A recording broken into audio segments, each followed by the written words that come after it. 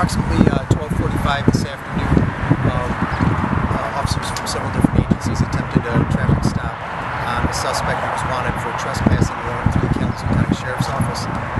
The uh, suspect and driver fled. The pursuit ensued and ended in the uh, Anna's Vineyard apartment complex here, where there was a crash and shots were